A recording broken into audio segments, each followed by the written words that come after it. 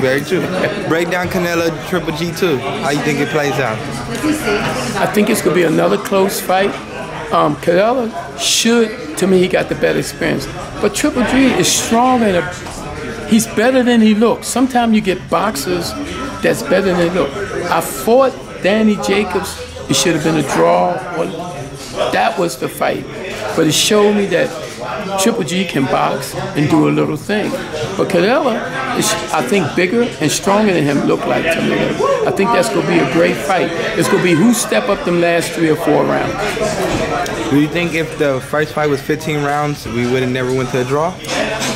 No, it wouldn't have been a draw. Somebody would have got stopped. Somebody would have got Point stopped. blank. See, I come up with, I had two kids fought. The Choo Choo Charlie Brown won the light weight in the 80s. I think it was 80, 81, or type 15. Um, old coach used to tell me, oh, they do 12 rounds now.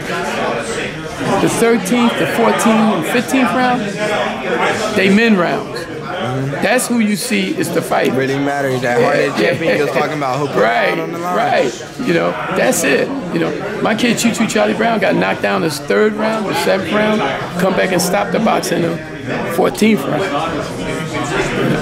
Got that heart. You see the you see the difference. Yeah. That 12, uh, that 13, 14, and 15. What the old coach used to tell me: separate the men from the boys.